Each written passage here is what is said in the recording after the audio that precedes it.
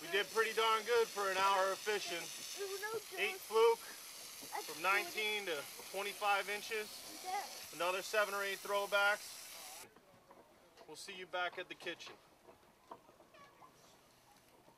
Sweet potatoes. They're delicious, packed with vitamins, and they go great with fluke. Put them in the oven well ahead of the fluke. 350, 45 minutes an hour is perfect for the uh, sweet potato. So the next step is to take the fillets inside and wash them with really cold water. But really, fish doesn't necessarily have to be washed. I do wash it, but I make sure that I dry it off very, very well. Uh, wet fish is a no-no. So I'm going to go ahead and wash each fillet, and then I'm going to layer it on here and make sure it's completely dry.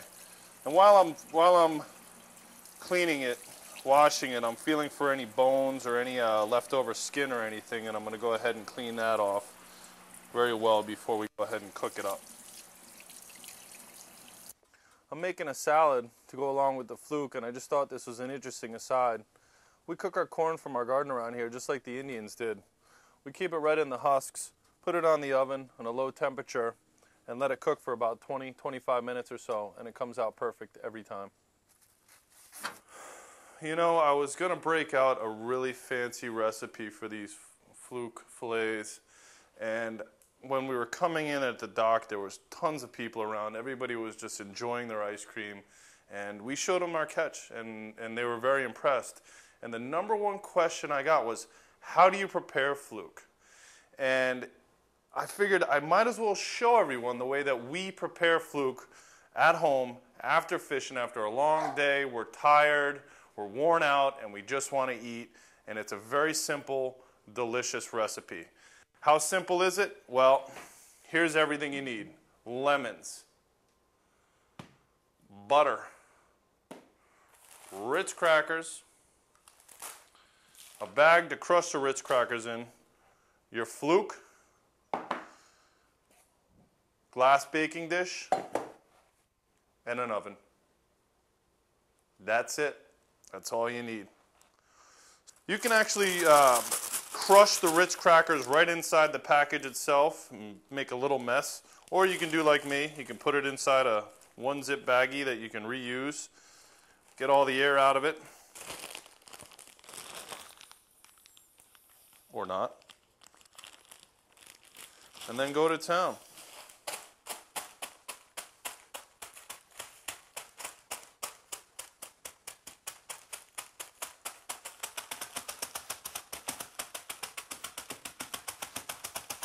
Now I like my Ritz crackers medium fine. I like to have a few larger pieces in there.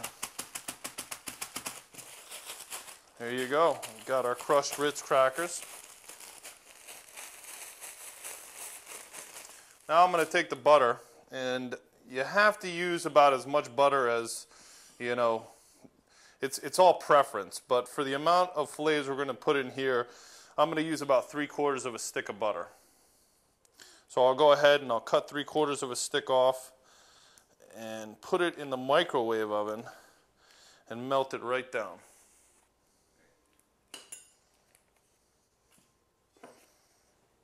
Into the microwave she goes. We'll have our butter in one minute. So, in the meantime, I'm going to go ahead and line our well-dried fillets and place them in this baking dish.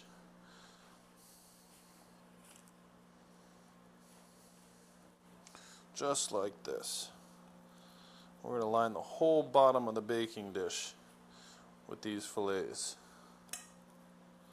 Some big fluke we caught the other day. I tell you, these fillets are not usually this big.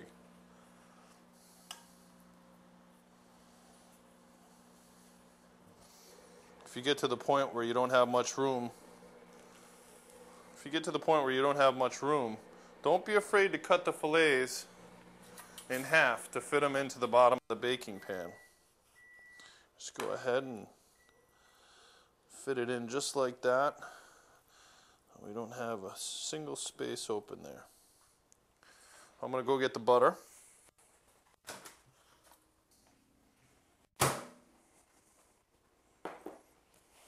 Salted butter, by the way. And we're going to take our crackers and go ahead and liberally put the crackers on all over the fish.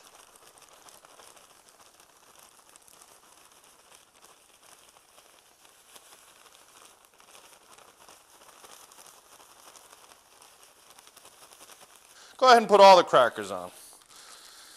And then, my favorite part, because it's butter, you go ahead and just drizzle that butter over all over the fish, all over the place. Some people use wine.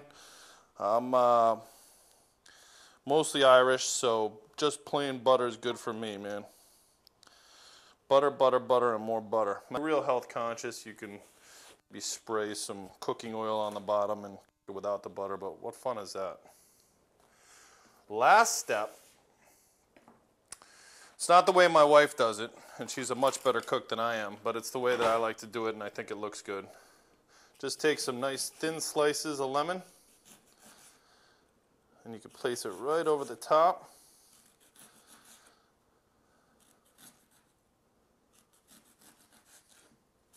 Just like this and that gives it a nice lemony flavor. What I'm going to do is when I take it out of the oven, I'm going to go ahead and finish it with a couple squeezes of lemon, but for now, we'll put some lemon over the top.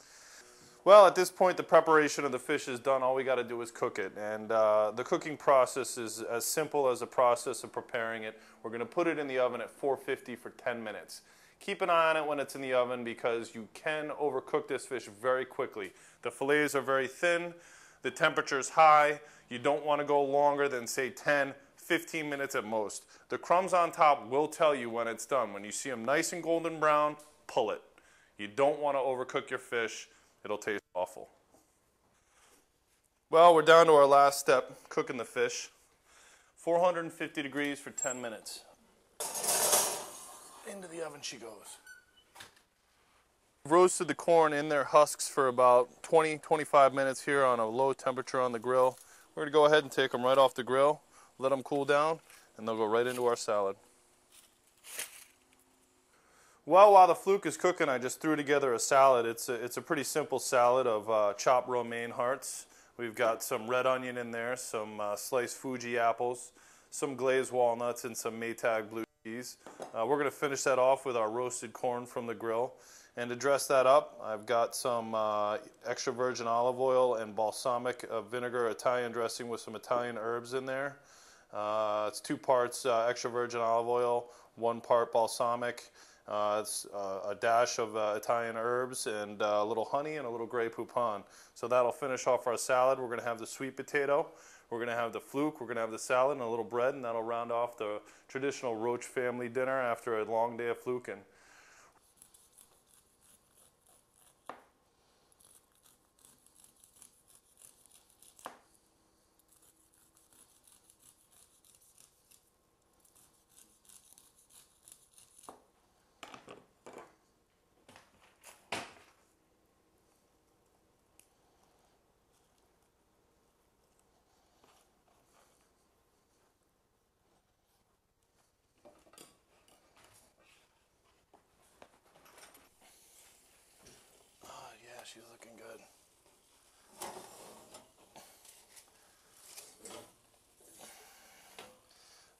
The finished product.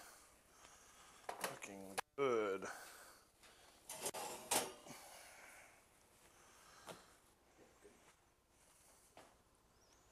Okay, I'm going to plate her up. A little wedge here. There you have it. Little salad, little bread, fluke, roasted corn, sweet potato. Fit for a king. Or Robb Roach.